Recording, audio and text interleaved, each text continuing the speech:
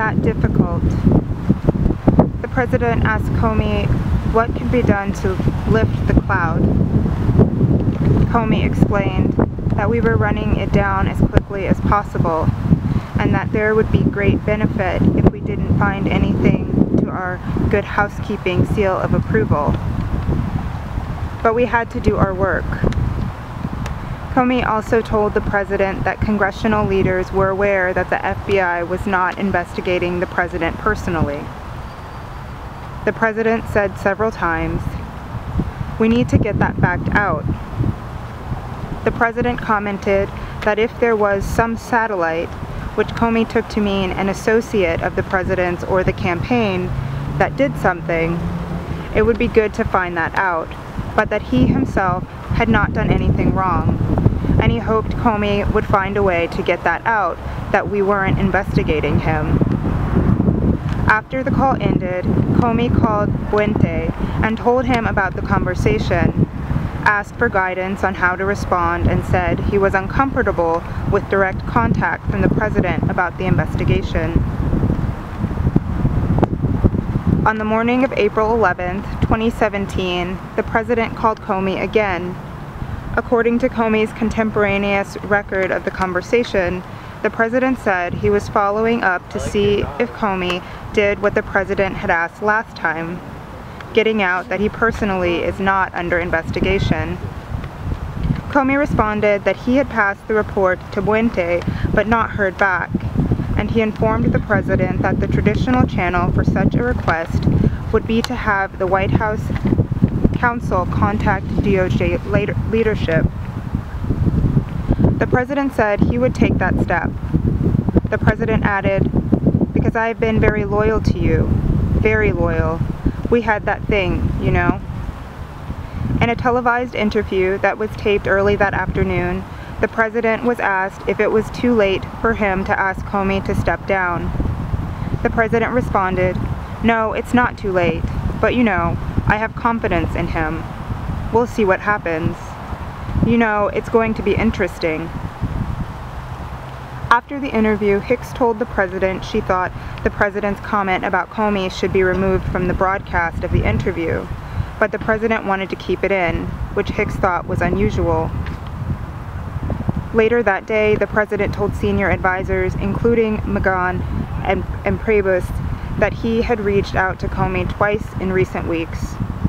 The president acknowledged that McGahn would not approve of the outreach to Comey because he had previously cautioned the president that he should not talk to Comey directly to prevent any perception that the White House was interfering with investigations. The president told McGahn that Comey had indicated the FBI could make a public statement that the president was not under investigation if the Department of Justice approved that action. After speaking with the president, McGahn fo followed up with Boente to relay the president's understanding that the FBI could make a public announcement if the Department of Justice cleared it. McGahn recalled that Boente said Comey had told him there was nothing obstructive about the calls from the president, but they made Comey uncomfortable. According to McGahn, Boente responded that he did not want to issue a statement about the president not being under investigation because of the potential political ramifications and did not want to order Comey to do it because that action could prompt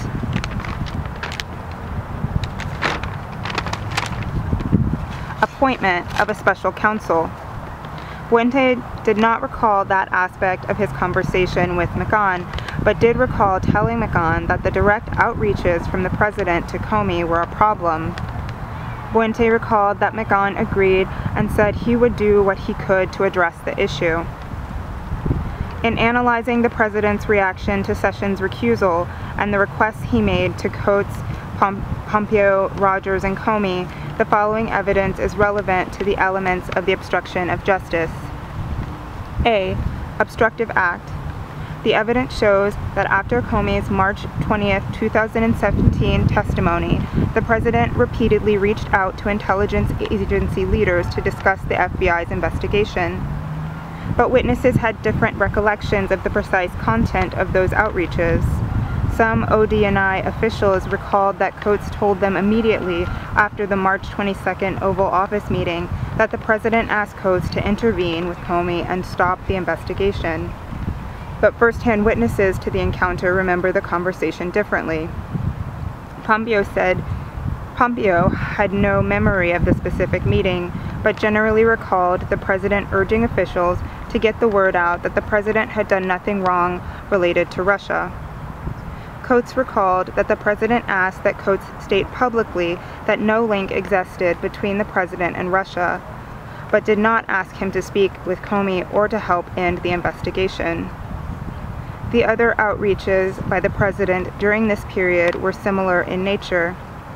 The president asked Rogers if he could do anything to refute the stories linking the president to Russia, and the president asked Comey to make a public statement that would lift the cloud of the ongoing investigation by making clear that the president was not personally under investigation. These requests, while significant enough that Rogers thought it was important to document the encounter in a written memorandum, were not interpreted by the officials who received them as directives to improperly interfere with the investigation. B. Nexus to a proceeding at the time of the President's outreaches to leaders of the intelligence agencies in late March and early April 2017, the FBI's Russia investigation did not yet involve grand jury proceedings. The outreaches, however, came after and were in response to Comey's March 2017 announcement that the FBI, as part of its counterintelligence mission, was conducting an investigation into Russian interference in the 2016 presidential election. Comey testified that the investigation included any links or coordination with Trump campaign officials and would include an assessment of whether any crimes were committed. C. Intent as described above, the evidence does not establish that the President asked or directed intelligence agency leaders to stop or interfere with the FBI's Russia investigation.